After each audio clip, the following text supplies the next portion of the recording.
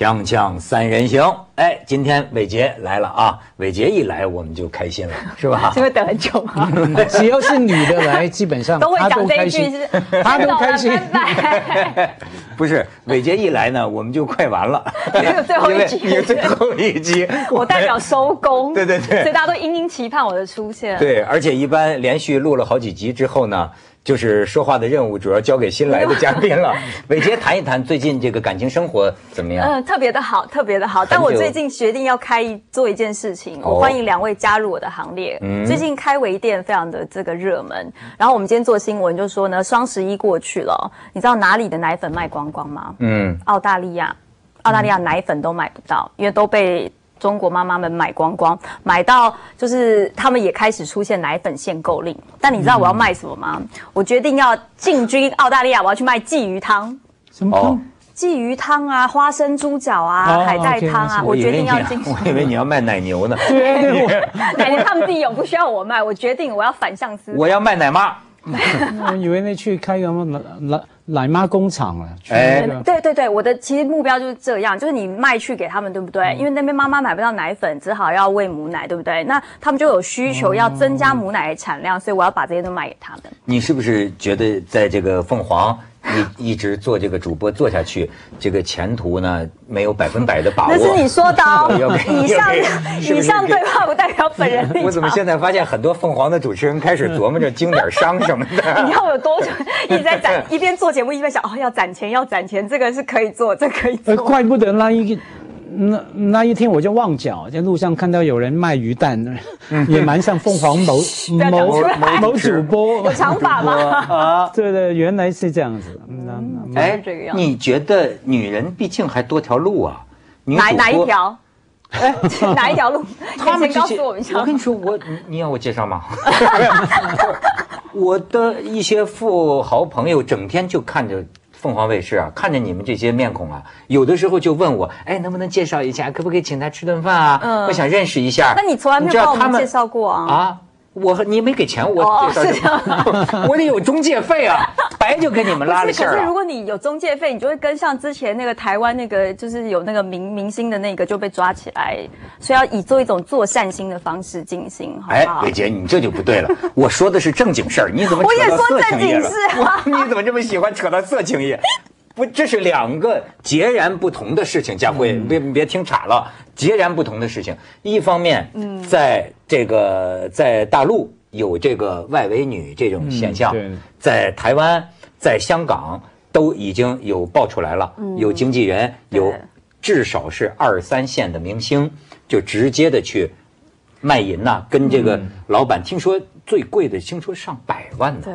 睡一天啊，上百万呢，一睡一个人啊，睡一个人，一个人就陪你一天呢，上百万，甚至还更高，听说都有了。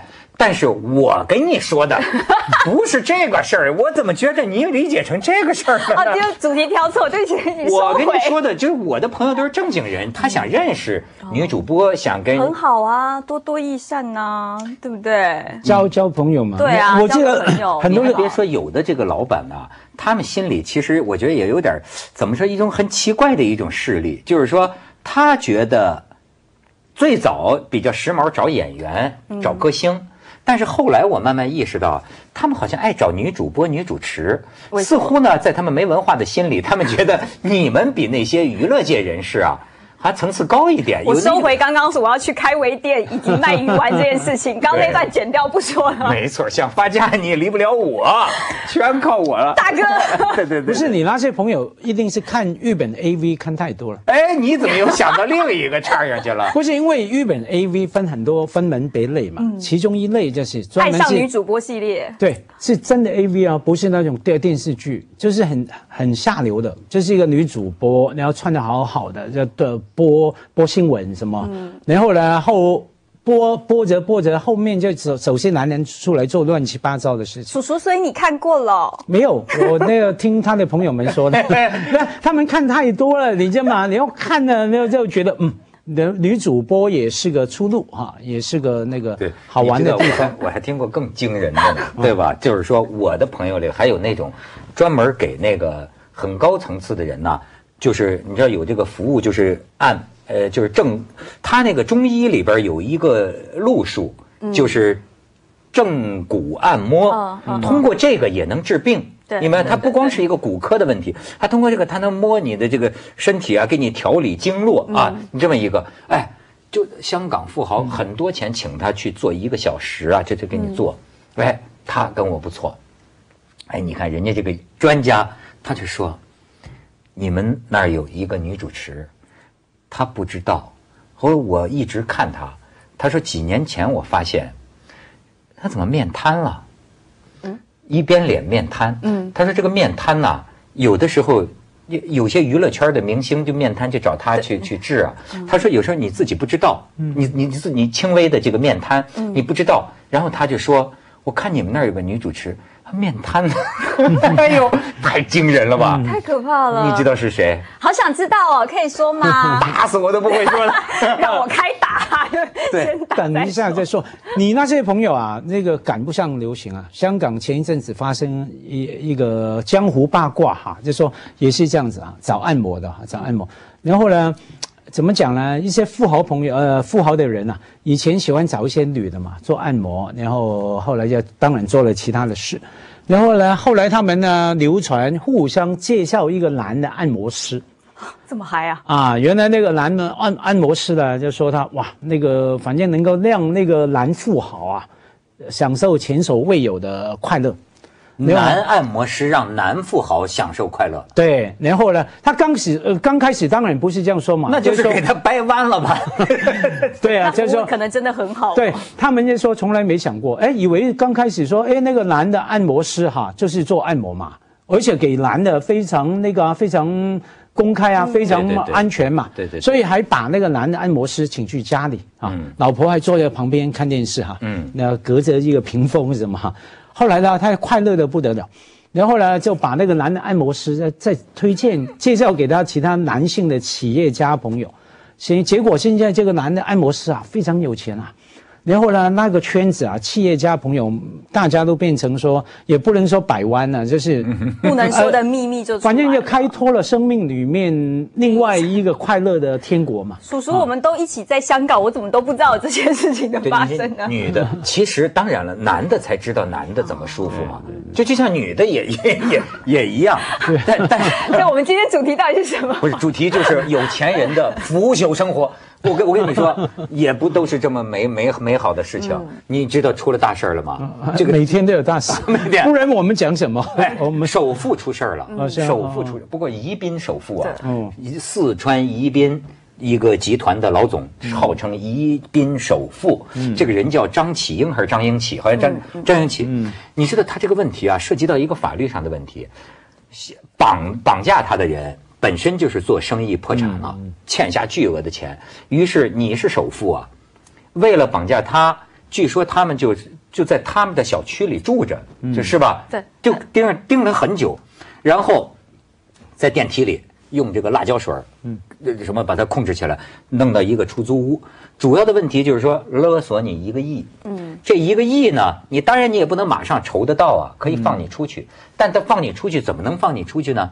就是说，二零一六年三月份之前，你把这一个亿拿来就行。但是怎么能放你出去呢？好，这就超狠的，你给大家说说。就是他们绑架他之后呢，就为了就要让他信守承诺呢，就要求他杀了一个按摩店的女孩子，就是徒手把他要人家把他勒死，然后整个过程呢还是摄像机把他拍下来，就是有罪证确凿的意思，这样拿这个交换说，哎，你想告我也可以，那你就过失杀人嘛，你也是杀人罪嫌，我觉得真的好狠呢、哎，家辉，你的抉择是什么？你比如这种情况，因为枪自制手枪嘛，最后杀出五十多发子弹，自制手枪顶着你，把他勒死。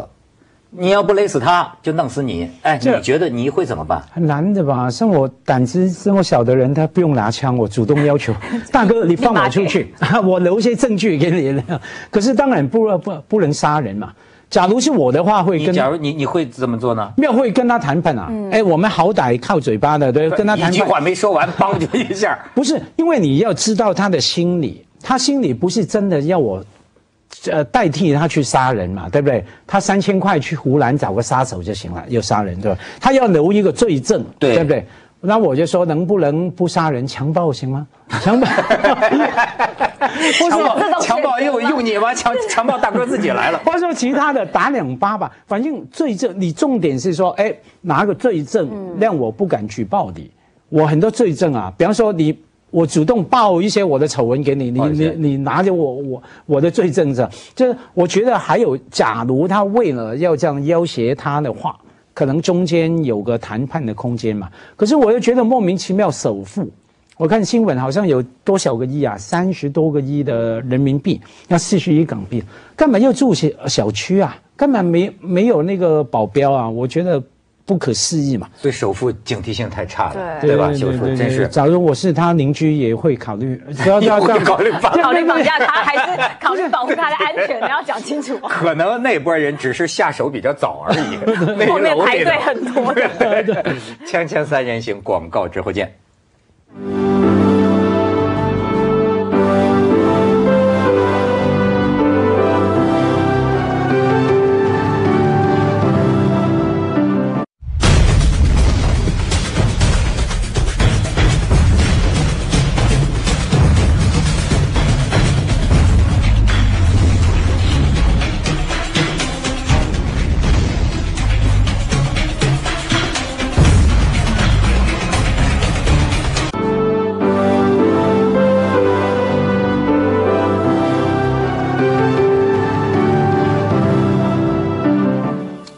哎，佳慧再说说你在首富身边住，对，没有，我只是觉得不可思议嘛，哈，住在没有保镖，哎，香港的有钱人别说首富了，至少全家三代都请保镖的，连他的祖 祖父祖母都请了保镖，那那而且请外国的保镖来，我不太明白内地的首富的心态，对，香港不容易绑票的，香港人太多，地方太小。你绑了放在什么地方？香港的绑票的第一个犯案率很低，第二个破案率很高，都很容易追呃追抓到。所以台呃先阵子不是有个香港富富豪被绑票吗？也一定要把案发现场移到台湾才行。台湾经常发生这种事，你就说那个就是那个绑架是要还挺先进了，那个绑匪要比特币，对，就用比特币来付这个赎金。就最后台湾警察救到他的时候啊，你知道认不出他来，不知道他是那个，因为被打的脸脱形了，说是真是，我用广州话讲，打到那 阿妈都阿妈不认得，阿妈都不认得了。对啊，那时候被打到就是淤血，然后又瘦啊什么，就是完全完全已经没有办法认出到到底是不知道救的到底是不是他了。而且你们那个那那个事事件蛮好玩的，他们还强迫他录像嘛，给他小孩对不对？老婆读一封信。那我一边看他那一段录像，一边笑。那封信就是写的完全是台湾文艺腔啊，因为因为那个富豪啊，我以前跟他认识嘛，他喜欢吃饭，朋友聊天，是当厨师出身，大厨坤，对呀，外号大厨坤。他讲话就呃满嘴脏话嘛，基本上。啊。可是读那封信都是那个像朗诵，呃，对，台湾的文艺腔，入境随俗嘛，要那财财富是身外物，回家最重要，爱你。回家的感觉真好，很好很好笑。他你不你不付钱呢，他们会把我凌迟。凌迟呃凌迟。我在想，香港人连凌迟两个字怎么写都不太行，所以绑他的人基本上一定是台湾的了，跑跑。跑跑不掉嘛？台湾文艺腔，台湾 台湾 至死不变的文艺腔。这这后面还没有找到哦，要写文艺腔要走两地，你知道香港跟台湾很有嫌疑，你又认识他，我们现在都是熟人，在你真的，你觉得台湾人是不是有点滥情啊？我觉得台湾人这个这个情啊，就是他们特爱说一些个这种特别文艺腔，包括那个黑帮老大，那前一阵那个出来劫。呃呃，在在监狱里绑绑绑架了狱长，最后六个人自己都自杀了，就好像通过喇叭对外讲话，讲的也都像是作文一样，就是我们小时候作文练习也特别的好。为什么？是不是徐志摩跟你们一块过去的？这 是是别另外一个 白话文运动的那个啊？我觉得应该是说台湾的语言上面用词本来就是比较柔一点的，所以在你们听起来觉得好像比较文艺范，但我们听起来就是很正常啊。所以我也不会这样，那表示你不正常。我告诉你，台湾的文艺腔啊，文涛要在哪里看到呢？你看台湾有台哈某台的气象报告。他们文艺腔滥情到气象报告啊，一个女的很很看起来非常温文。我以前播过气象哦，你来挑战一下看，对啊，你要讲什么？他是这样报。的，各位啊。过两天就很冷了，所以啊，大家一定要带雨伞哦。这是这样来来来报告气象的。对啊，气象就是要这样啊。不是他的语气啊，完哎，全又你学学你当时是怎么报的？就比如说早上啊，或者各位观众朋友，大家早安。今天出我们觉得天气好像比较冷一点呢，没错，因为今天冷气团来报道喽。然后就要解释一下这个卫星云图，讲一讲。然后说，所以今天出门要特别带什么？后面要拿一把雨伞，要记得带伞哦，对不对？哎这是台湾的那么想给钱呢。来，请打到我身上，我们那个微信支付就可以付了。那个其实我觉得是台湾讲话的喜欢贴近一点，就是我们比较讲人情味，喜欢就是好像跟你很亲近的感觉。所以你刚说那叫我没有觉得文艺范，我就觉得就是他也要表现出我跟你很没错像隔壁姐姐跟你说今天天气冷要加衣服一样的。我头一回去台湾，我就看了一天那个台湾电视，我觉得我说新闻好像说啊，我当时记得很清楚，我说这个新闻可以这么写的，就说一个人的追悼会。好像是跟他有绯闻的一个男的也出席了他的追悼会，嗯，然后旁边那个新闻新闻新闻解说，你知道怎么写？就说这个男的紧握双拳，压抑不住内心的悲伤。我说怎么可以这么写的？对对哎对，有时候就因为台湾因为 SNG 太多了，然后每次你就要这个依照画面讲话，然后没有导播没有说你停，不可以停嘛，所以你就要开始不断讲解现场。就比如说啊，你都在哭，现在他眼双眼闭着，今天穿了一件深灰色的衣服，这件衣服到底是不是女主角喜欢的牌子呢？你看她现在低下双眼，深深的呼吸。台湾记主播的记者的连线都是这样练出来的，练到就是一种我们自己在脑中里面发展的一个新闻故事，非常的完整，但可能跟现实是没有没有相伟关。杰学的不像，因为你太讲的太慢太平和。台湾的电视新闻、啊、再夸张一点对我来说有几个不解之谜嘛。第一个是说，不管什么年龄的女主播都要你穿迷你裙，哈，就觉得非常奇怪哈。呃，厌恶性，因为厌恶度非常高哈，都站在那边。然后呢，讲话非常快。对不对？然后第三呢，非常尖亢的声音啊，很高昂的的声音高亢的声音吧。第四个，完全是讲芝麻绿豆的新闻，完全在七点钟的新闻呢，完全就报那种消费抱怨的、啊。窦先生啊，台中的窦先生买了一台手机，居然发现原来后面好像有被用过的，然后就去访问那个店东老板。哎，晚上七点的新闻，对对，哎完全消费版的。你说这个，我想起来，我最近研究网络嘛，不是？你知道，我现在发现一个，你都想不到这个点击量之高。现在网络上最火的，你以为是什么？什么康熙来了都包了。你知道现在最火的是什么？什么？网络女主播。哦，对啊，陪聊啊，你看过吗有啊，他吃饭呐、啊。哎呦，这个，哎，我觉得太有意思。因为先是一个人跟我讲，他说我就不明白为什么人们喜欢看这个东西，为什么这个东西这么火。可是我一看，我就看了两个小时啊，我觉得挺好看。我觉得这讲什么到底是我跟你说，不用讲什么问题是，对，就是一个漂亮美眉，她多窗口，就是你只能在电脑上，她前她这一个一个麦吧，呃一个一个摄像头，他就这么坐着，然后但是它是互动的，就是那个跟帖啊，就旁边的窗口，就人们可以说，有的说的特脏，有的说我想干你啊，就就那么就可以啊，但是呢，它还会有什么呢？比如我送你一辆阿斯顿马丁，就出来那么一个 logo，对。那个可能是要拿钱买的，对对对对。你要拿比如几十块钱，我送你一个房子，哎，然后他就会啊，谢谢马家辉先生送了一个房子啊，然后他我就讲话，他会讲话。不，仅是给，他穿打 live 的。扮打扮怎么样？呃，就是？清纯可爱，有也有的呃呃露个沟啊什么的，但但但也不是脱光，但有的时候他会甚至会怎么样啊？我觉得也算一种真人秀。哎哎呃，就是呃不好意思啊，我去那个就去一趟洗手间，什么咪咪啊一下 哦，或他就他就走了，嗯，他走了，过一会儿他又回来。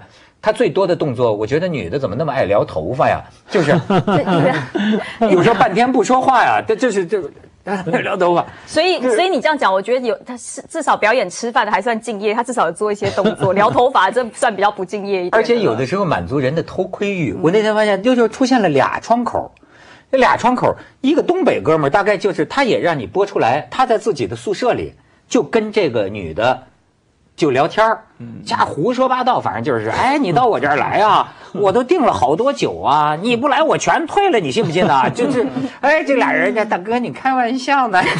你这这，哎，真好看，我觉得，我准备投身。我跟你说，你也要帮我们要开一个专门的账号吗？比《锵锵三人行》好看太多，而且不用看资料，不用搞这个，不会，你不要羞辱我们，咱们俩都哭了，他准备这么多资料，真的，伟杰，咱俩在网上，我跟你说，甩了凤凰卫视，我跟你说，绝对的，没问题。你你负责那个什么，吃饭吃面卖骚啊这种，我我我我，你负责聊天，我负责挑逗。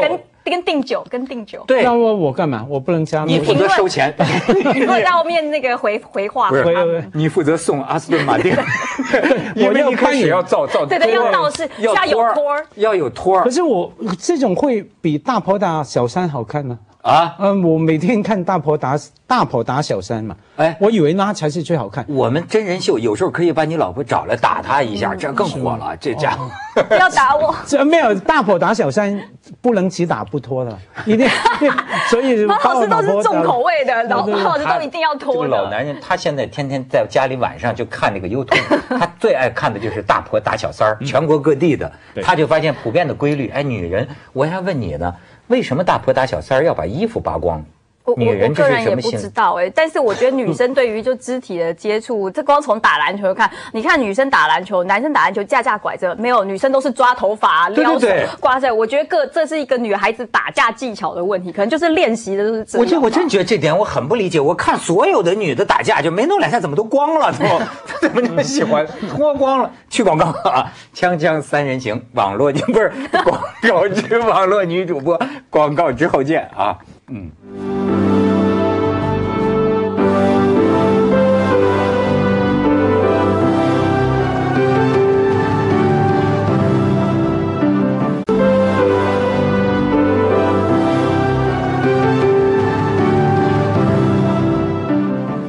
你可以点人的，你就出来好多女的，哎，伟杰呀，又婷啊，说哎，你想点一个，怕你一点，伟杰。那你需要付钱才看到吗？我就在播头发，不用付钱，不用付钱。它就是 free，但是你如果要送，比如说今天你想要女主播在这边广播你的声音，你就送她 Austin Martin，或者是送她宝马。然后送我的书可以吗？不行。可以啊，你试试看看他收不收。但它其实是一个代币，它后面你不是真的送嘛，你一定是买点数然后送，也是有个游戏的概念。然后很多的，其实他们很多有些红的女主播赚的都比我们还多。哎呦，你就说赚的说是月入百万哇，月入百万，你说来，我们明天赶快开一个吧，待会下节目马上来开一个。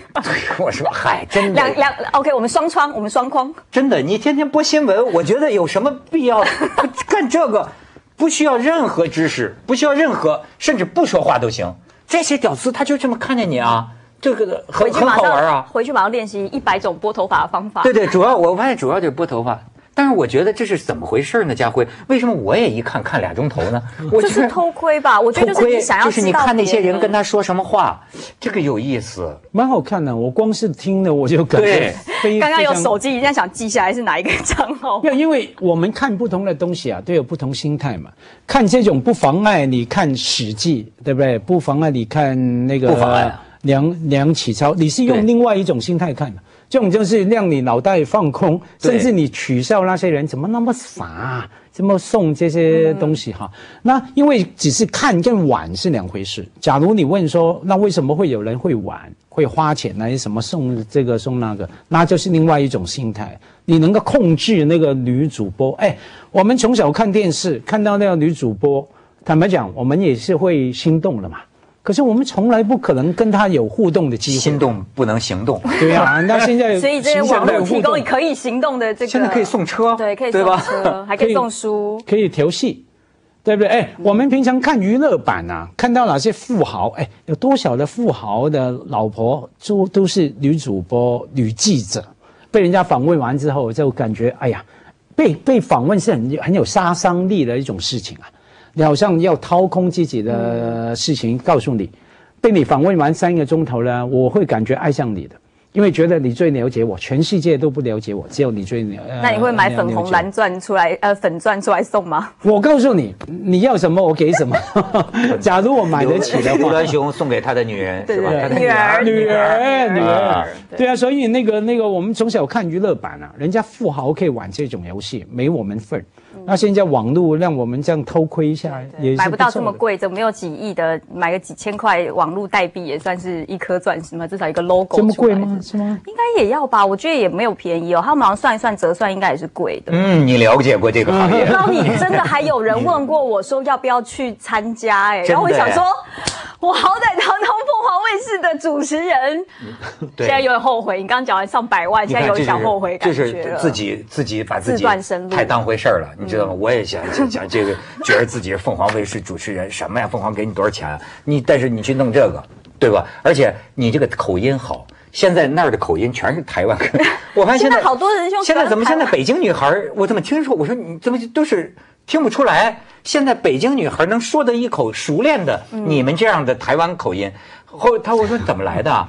哎，台就是《康熙来了》这种节目孕育出来的。今天但什么时候就会这个破功，你知道吗？什么时候就被认出来？吵架的时候，嗯，对，只要只要要测验他到底是不是真的讲台湾腔，你跟他吵架，就立马会露出自己的本性就出来了。是吗？嗯，下次可以试试看。真的吗？真的我真的 我这个就是台湾口音。我现在已经习惯于，就是说对台湾口音还有一个印象，就是我一接到不认识的电话，听到是台湾口音，一定是诈骗骗子，一定是骗子。从台湾打来的对，都是台湾。那为什么呢？汇多少钱到哪哪哪都是台湾口音。